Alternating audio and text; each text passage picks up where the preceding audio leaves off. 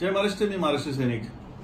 गेल्या आठवडाभरामध्ये ही दुसरी घटना आहे की ज्यामध्ये पोलिसांचं खच्चीकरण केलं जात आहे पोलिसांवर हात उगारले जात आहेत एकीकडे महिला पोलिसांना अवाच्य अश्लील भाषेमध्ये शिव्या घालते आहे आणि दुसरीकडे मुंब्रामध्ये काही तरुण मुलं मग ती कोणत्याही कम्युनिटीची असू देत.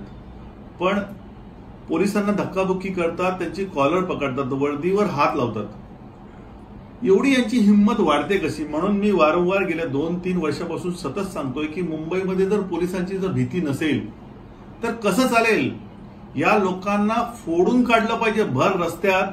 मला हे कळत नाही की एखादा मुलगा ही सगळी बचकानी मुलं आहेत याची अवकात नाही आहे पण ही मुलं ज्यावेळी तुमची कॉलर पकडतात आणि तुमचे जे सहकारी आहे जे पोलीस आहेत ट्रॅफिक पोलीसवाले आय एम सॉरी पण तुम्ही सर्व पोलीसवाले एखाने व्हिडिओ काढा ना आणि बाकी लोकांनी तर पकडून त्यांना मारा.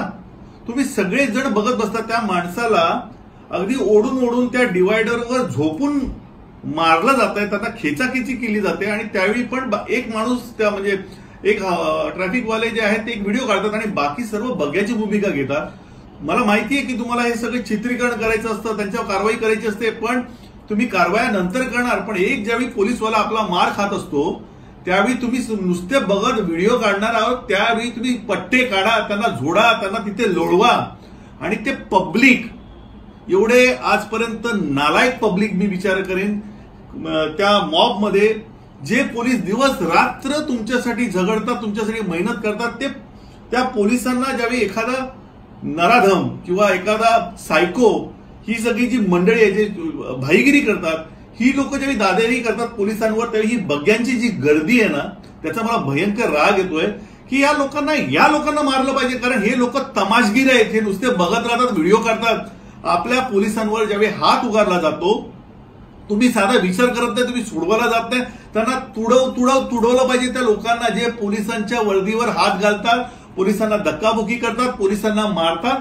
यांना दया दाखवू नका. यांच्यावर देशद्रोहाचे गुन्हे दाखल झाले पाहिजेत. मुंबईमध्ये महाराष्ट्रामध्ये पोलिसांवर हात जो कोणी उगारेल मग तो कोणी असू दे त्यांच्यावर देशद्रोहाचा गुन्हा दाखल करा. कारण हा आता नवीन ट्रेंड चालू झालेला आहे की कोणी येतोय आणि पोलिसांना टपल्या मारतोय. मला हे सहन होत नाहीये. मुंबईमध्ये जर तुम्ही आदर निर्माण करू शकत नसाल तर निदान भीती तरी निर्माण करा. आणि तुम्ही जर त्यांना ठोकू शकत नसेल तर मी तिथे मुंबईला येऊन रोज ठोकेन. अशा लोकांना जे पोलिसांवर दादागिरी करतात. मग ते कोणत्याही कम्युनिटीचे असू देत. आणि ही बचकानी मुलं आहेत. हे सलग नेहमी ग्रुपमध्ये येतात.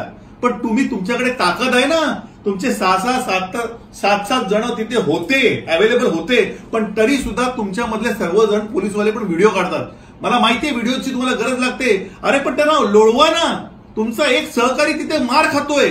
पोलिसांवर हात उघडण्यापर्यंत आज जर मुंबईमध्ये हिंमत होत असेल तर त्यांना त्या रस्त्यातनं त्यांचे कपडे काढून त्यांना नागडे करून त्यांची धिंड निघाली पाहिजे आणि याच्यामध्ये कायदा सुव्यवस्था किंवा कोणतेही लॉज सगळे बाजूला ठेवून मुंबईमध्ये फक्त पोलीस आणि फक्त पोलीस त्यांचा मान सन्मान झाला पाहिजे. त्यांच्या देशद्रोहाचा गुन्हा दाखल करा कारण थ्री फिफ्टी थ्री हे नुसतं कलम टाकून चालणार नाही. यापुढे ती दहशत निर्माण झाली पाहिजे. आणि तुम्ही जर हे ठोकू शकत नसाल ना पोलीसवाले जर अशा लोकांना जर ठोकणार नसेल तर मी तिथे ठोकतो. पण मला मुंबईमध्ये आणि महाराष्ट्रामध्ये ती महिला पण होती जी वाशीची होती तिनेही ज्या पद्धतीने त्या महिलेचा अपमान केला आणि जे पोलीस हवालदार ते व्हिडिओ काढत होते तुम्ही व्हिडिओ काढा ते पुरावे तुम्हाला लागतात. पण एवढा पण तुम्ही स्वतःचं खच्चीकरण करून घेऊ नका.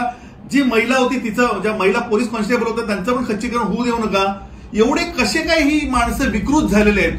यांना रस्त्यावर याची धिंड काढा आणि तुम्ही काढत नसाल तर मी काढेन. यापुढे मुंबई पोलिसांवर कोणत्याही जाती धर्माच्या लोकांनी जर हात उचलला जर त्यांच्या कॉलरवर हात लावली तर तो माझा पर्सनल दुश्मन असेल. आणि त्याच्यानंतर मी काय करेन ना हे मी स्वतः सांगू शकत नाही. आणि त्यांच्यावर देशगृहाचा गुन्हा दाखल झाला पाहिजे याची मागणी मी स्वतः करणार आहे. जय हिंद जय महाराष्ट्र.